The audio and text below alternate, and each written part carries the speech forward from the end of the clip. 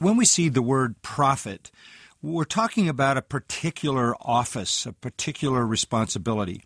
In a uh, non technical sense, uh, anybody who preaches is giving a prophecy. That literally means to speak before.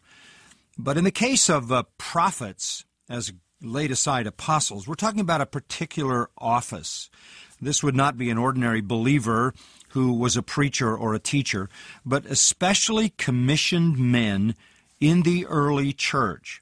The office of prophet seems to have been exclusively for work within a local congregation, while the apostles were those who were traveling and uh, planting churches, not the prophets. The apostles were the sent ones.